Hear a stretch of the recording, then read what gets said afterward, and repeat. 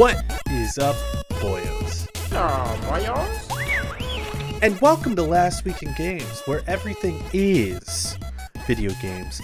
My name is Jake, and again, I'm joined by nobody. This is probably the new normal. You know, we'll have hosts in every once in a while, but it'll probably just be mostly me um, for the time being. It'd be great to get another host, but you know, it is what it is. Um, but thank you for joining us. Uh, we've got a few big pieces of news. We don't have a lot of news today, but we do have a few big pieces of news that I am excited to talk about. So let's just jump into it. We're going to start with the what we lovingly call here at Last Week in Games the titties. These are some tidbits of news that we think are worth mentioning. First titty Charles Martinet, the original voice of Mario. He's been the voice of Mario for since the beginning. He is stepping down as Mario. Makes sense. He's an older guy. Uh, and this this news comes right before the release of Super Mario Wonder, and it was also announced that he was not the voice of Mario in that game. This does come right after the Super Mario Bros. movie, where he does play a big part in that movie. So, much respect to Charles Martinet. They did announce that he is going to be a Mario ambassador. I'm not quite sure what that means. I guess he'll just go out and do press junkets for Nintendo. I guess that's his full time job now. Uh, so that's cool, I guess. So Charles Martinet stepping down as Mario. He will be missed. People are acting like he's dead. He's not dead. And it's very possible that they may bring him back again to do something in the future. But for now, he is stepping down. Second titty here is we got the announcement earlier this year of the PlayStation Q, I think is what it was called, during the summer showcases. Well, we just got more information about it, um, and the inter- the internet is on fire about it.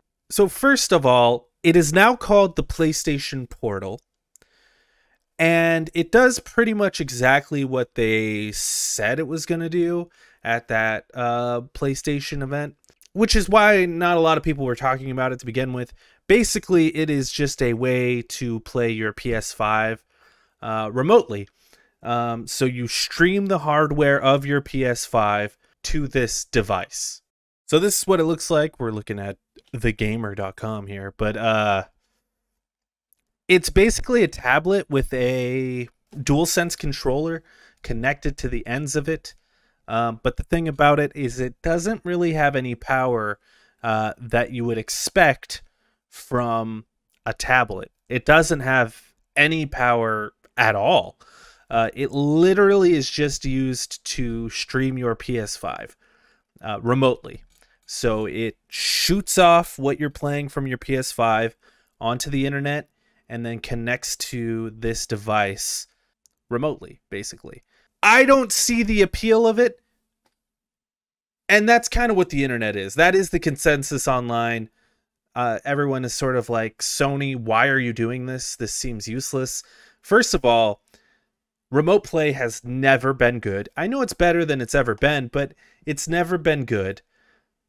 We have things like the Steam Deck that have proven that handheld consoles are still wanted. So for Sony to not do a handheld console, probably because they're scared after what happened with the Vita, which was a colossal failure they're just sort of releasing this thing. So a few more details about uh, this device. It costs $199. Um, and there was another piece of news that came along with this that this device you cannot connect Bluetooth headphones to it.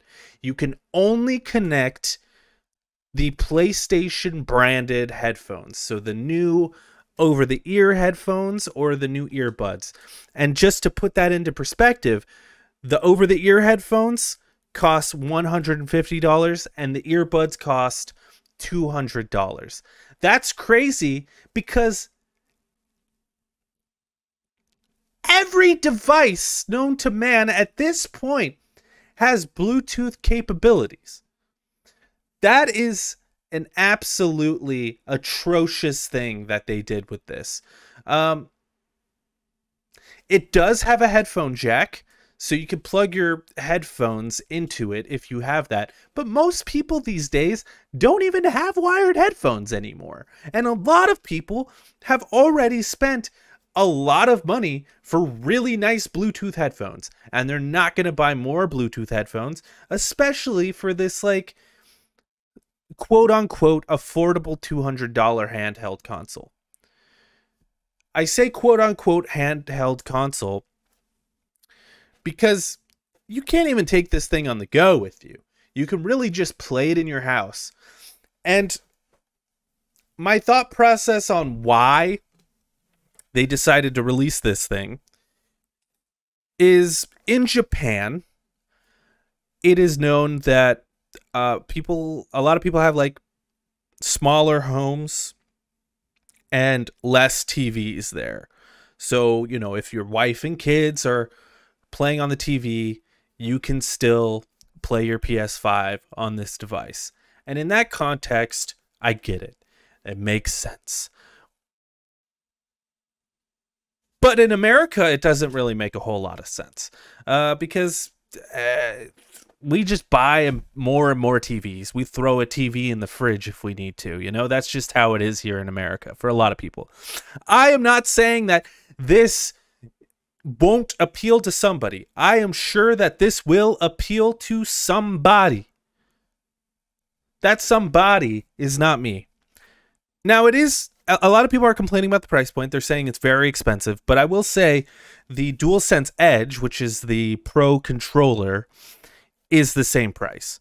So when you think of it as just like another controller, this is like a pro controller and it has a screen.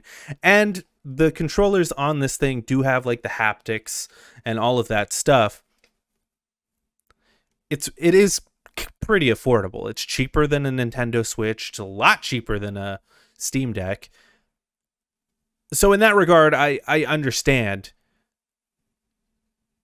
That being said, you can buy controllers that hook up to your TV or tablets, and you could do exactly that with your current phone or tablet. I think I said TV a second ago. I meant phone or tablet. So you can already do this with your current phone, or if you own like a shitty Samsung tablet, you can already do this with that. Now, I've heard the screen is nice on this thing. Cool. That's great. Um, it would just be nice if they released some sort of SKU of this that actually had some sort of native capabilities. Now, here's the kicker on top of all of this you can stream from your PlayStation, but you cannot use the PlayStation streaming services that you get with your PS Plus subscription. So you cannot actually stream games. You can stream games from your PlayStation, but you cannot use PlayStation streaming, which is too bad because I've been messing around with PlayStation streaming a little bit and it works surprisingly well. Um, so the fact that that's not a feature on this thing, the fact that you can't connect Bluetooth speakers to this thing, I don't know why you wouldn't just buy some sort of connector that connects your uh, your DualSense controller to like a you know a, a sixty dollar tablet because that's really all you need to do. Uh, this thing seems useless. Now, all that being said, there's been a lot of heat on the internet versus this thing. Um, understandably so. But I will say this this is not a console release for PlayStation. This is an accessory that PlayStation is using, much like a controller or any other kind of add on. This is not like them releasing the PSVR 2 earlier this year. This is more of them releasing the DualSense Edge last year. It's more in that realm. Um, so when you look at it like that, you'll see this on the shelf of Walmart's forever and ever. No one's going to buy this thing. Maybe a couple people will. It'll go on sale in a few years, and maybe in a few years when it's dirt cheap, it might be worth picking up. But at its current point, I don't see the point but also the heat online I think is a little overblown.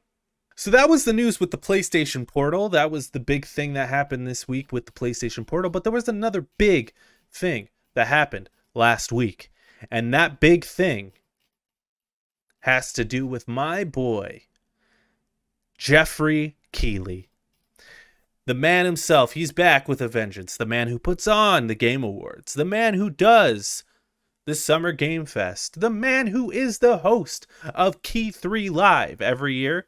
Well, he's back with a vengeance, and he does this every year. He teams up with Gamescom, which is a huge convention slash expo that happens in Germany every year. He teams up with them every year to do a thing called Opening Night Live.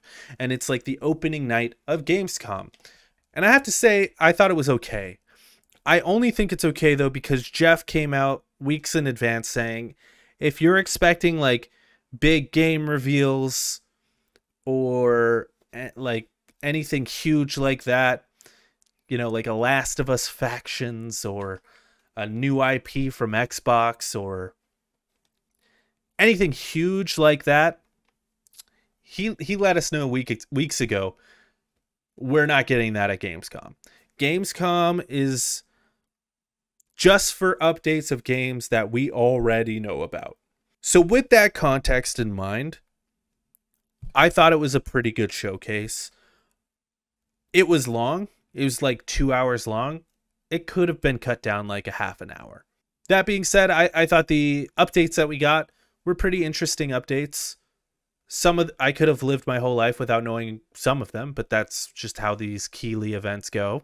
But I almost feel like he does this Gamescom event just to appease the developers like hey we'll give updates to your game as long as you give us the big exclusive at the game awards so i i, I think that's kind of what opening night live is at this point, and and I think that's fine.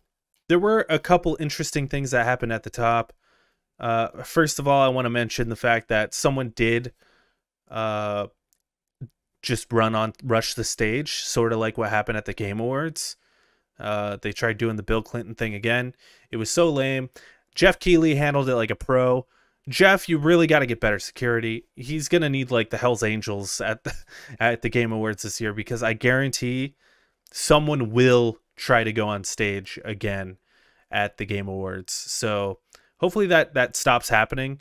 Um, but yeah, uh, another thing that happened that was sort of not games related. Zack Snyder came out and showed a trailer for his new movie Rebel Moon, which I can just only summarize as Star Wars meets Chronicles of Narnia. It looks okay. I'm not a huge Zack Snyder fan, um, but I, also don't hate all of his work. Um, but not a huge fan. But I, I'm down to see Zack Snyder do his own IP though, and uh, I think that's interesting. And the reason I said it's only sort of game related because he did announce that they are working on a game for Rebel Moon that is exclusive to Netflix. So that's interesting, but also makes me less interested because I can't imagine it'll be very good if it's just on Netflix. Let's run down a few things that we saw at Gamescom. Uh, not, th- this is not in order. I'm going to skip some things that I think aren't very interesting. If you want to watch the whole thing, you certainly can go do that. But these are a few things that I thought uh, were interesting and that I would kind of want to talk about. Uh, there was a live action Starfield trailer that I thought was pretty good. And uh, the closer we get to Starfield, the more I'm like, yeah, I'm kind of down for a new Bethesda game, and I'm kind of down for a new Bethesda IP. I, I think it's I think it's gonna be great. I, I I'm I'm excited about it. Could be bad, but I think it's gonna be exciting. Call of Duty Modern Warfare 3, we did get some like leaks the week before last uh, about like the mini map being back and the fact that there's going to be zombies and stuff and the fact that we're going to have the the original Modern Warfare 2 maps in Modern Warfare 3. So that stuff sort of leaked. We got like a huge story trailer slash gameplay trailer that went on a little too long, but it was cool. Um, that was probably like the big get for Keighley at this event as far as, you know, like big IPs but also something that we expected. Um, it it it's interesting that Activision waited this long to announce the game, uh, considering it comes out in October, I believe. So, yeah, Mortal Kombat One was there, and we got to see some uh, final kills that were just absolutely gruesome and to be expected from Mortal Kombat. And that Mortal Kombat 1 game is looking pretty, pretty good. Tekken 8 re- received a uh, it received a release date, and that release date is January 26th, 2024, which is my birthday. So how about that? Um, I've always liked Tekken. Maybe I'll pick this one up. Probably not. Um, Assassin's Creed Mirage got a trailer. Um, so that's cool. I feel like we've seen this game about a billion times. It comes out in like a month or two. So Assassin's Creed Mirage is coming out. We got a really, really cool trailer for Cyberpunk 2077 Phantom Liberty. I this trailer actually made me want to jump into Cyberpunk and give it another shot. Uh, when the game came out, I didn't have the beefiest PC. Uh, I had a PS4 and I played it on PS4 and it didn't run very well. Now I have a beefy PC, so I, I should give it another shot. I really should give it another shot. Um, yeah. Uh, Sonic Super Sonic Superstars. Uh, Sonic Superstars Stars. Oh my god. Sonic Superstars gets a release date of October 17th. So I, I, I think this game looks really awesome. So I'm excited about it. And Sonic Frontiers gets a trailer for the Final Horizon update. Um, I did not realize that uh, Sonic Frontiers was getting updates like this, but there you go. Um, there was a new narrative game called Dustborn, uh, which I don't know. These trailers are always interesting to me. Um, it's sort of like cell shaded storybook sort of things but you never know like is there actually going to be some sort of weird gameplay in it or is it just a storybook thing it's always hard to tell with these trailers and i wish they were a bit more transparent um, but i know with these smaller like indie games uh, they don't even really know what the game's going to look like until the game is out you know what i mean like they're constantly making changes and i, I think that's why a lot of these like indie games have very subtle trailers like this uh, we've got a new game coming from the creators of the Untitled Goose Game called "Thank Goodness You're Home," which looks like uh, like a little cutesy puzzle.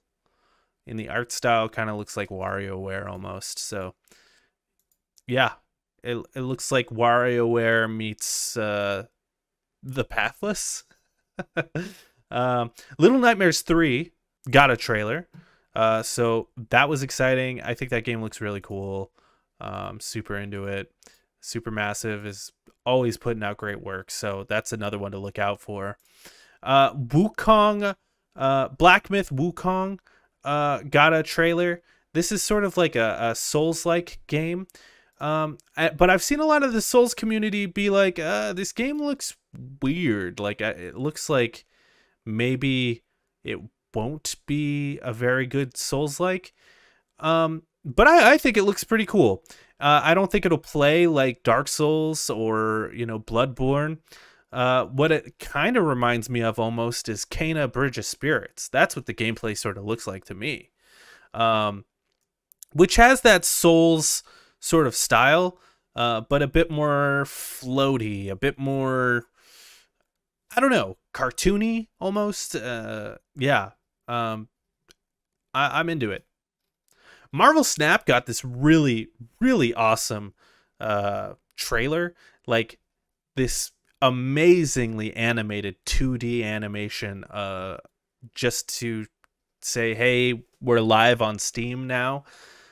And it made me mad. Let me tell you why it made me mad. Because I want a Marvel show to be animated like that, and we'll never get it. Instead, we get What If, which I think the animation is so lame on. Give me give me some animated shows like this. This shit looks amazing. Then we got this trailer for this game called Crimson Desert. And let me just tell you right now, this game looks fucking incredible. Like like too good to be true kind of stuff. It looks incredible. It looks like Ghost of Tsushima meets like Tears of the Kingdom meets like I don't know, like like For Honor. Like it, it looks amazing. Like maybe like an, a bit of Assassin's Creed going on. Like there's so much. Oh my god, there's like destructible uh, buildings. Uh, the combat looks very fluid. You're riding a horse around. You've got these like cool arrow abilities. You're f- turning into like an eagle and like flying around. This game looks awesome and I can't wait to hear more about it and I can't wait until it releases and it's nothing like it's been presented here. Age of Empires 4 is finally coming to Xbox, so keep an eye out for that. And Killing Fo- Killing Floor 3 was announced. Um, I think uh, the Killing Floor series is not as big as it used to be. I think Killing Floor 1 was huge. Killing Floor 2 wasn't as huge. That being said, I loved Killing Floor 2 and I played a ton of Killing Floor 2. And I'm so down for some Killing Floor 3. Uh, totally, totally down to play that. We got a Payday 3 trailer featuring Ice T. That was sort of interesting and weird just to see Ice T at the Game Awards. Like, what you doing here, Ice T? Super weird, man. And then uh, it ended with uh, an Alan Wake 2 uh, trailer. And this game comes out right before Halloween and I am so, so, so excited for Alan Wake 3. I cannot wait. Um, I plan on playing that game on stream for Halloween. Should be very fun. Check us out, twitch.tv slash lonercast. I love the first Alan Wake. I love Control, Remedy. They kill it always. So very, very excited for Alan Wake. There was a lot more stuff that was announced at Gamescom. Uh, but eh, I don't know. Not not the rest of it wasn't even really worth mentioning. Speaking of things that aren't really worth mentioning, but I'm going to mention it here. There was a future game showcase at Gamescom as well. These are some more like indie type games, smaller games.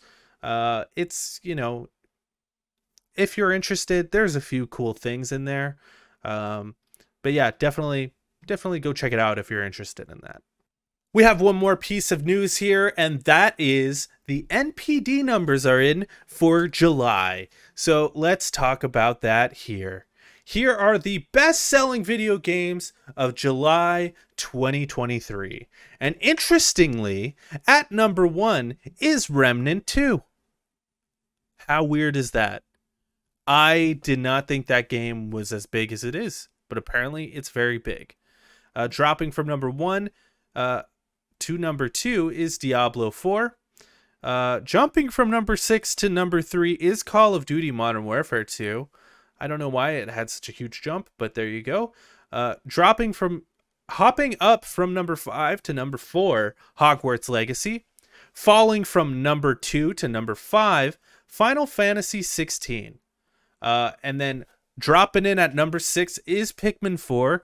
I always have to mention it here that Nintendo does not release digital sales, so this is all physical sales.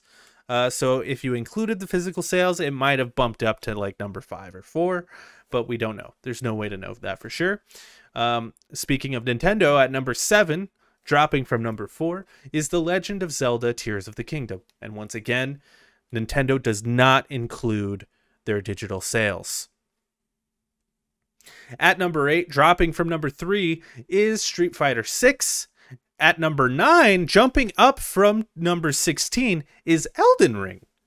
Now, I don't know why that jumped up, unless there was some sort of sale, or maybe there were the trailers for Armored Core that maybe reignited some excitement for Elden Ring. I'm not quite sure why that jumped up, but there it is. At number nine is Elden Ring. And then at number 10, dropping from number eight, is MLB The Show 23. Now let's jump on over to the top 10 selling video games year to date 2023. So these are the best selling games of 2023 thus far. At number one, now this, I'm just going to say this right here. This is the same exact list from last month. Nothing has moved. So uh, just to put that into perspective here. At number one is Hogwarts Legacy. At number two is The Legend of Zelda Tears of the Kingdom. And one more time, I will just mention that Nintendo does not release their digital sales. So this could be number one if they released their digital sales, but they don't. So at number three is Diablo 4. At number four is Call of Duty Modern Warfare 2. At number five is Star Wars Jedi Survivor. At number six is Resident Evil 4. At number seven is MLB The Show 23. At number eight is Dead Island 2. At number nine is Final Fantasy 16. And at number 10 is Street Fighter 6.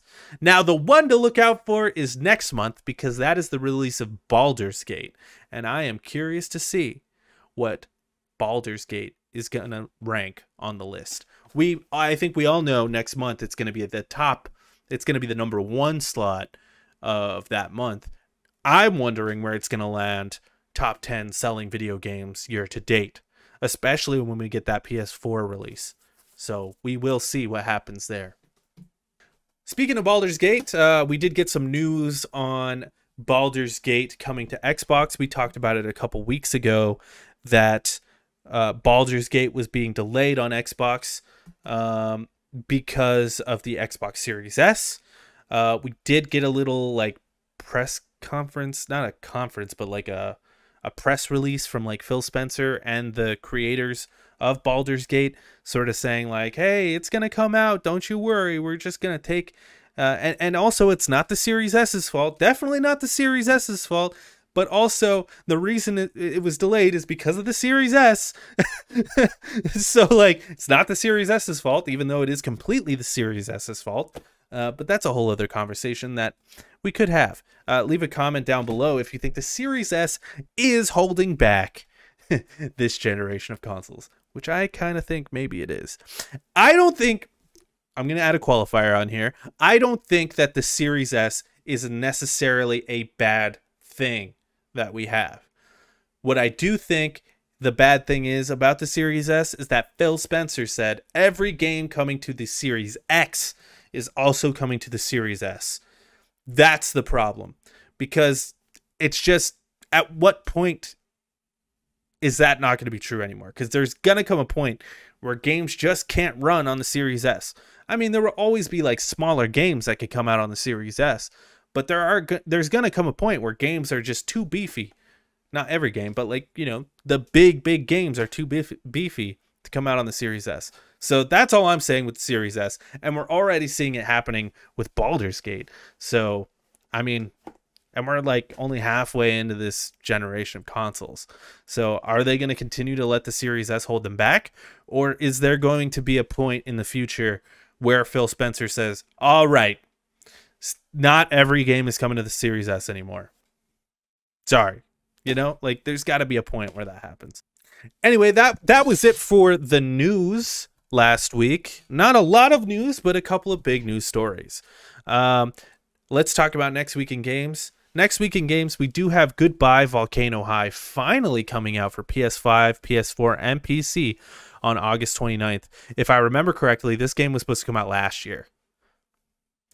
It's kind of that like indie, angsty drama dinosaur thing. Like, oh, there are a bunch of dinosaurs in high school but also uh, the volcano and the asteroids are about to hit the planet, so they're all gonna die or something.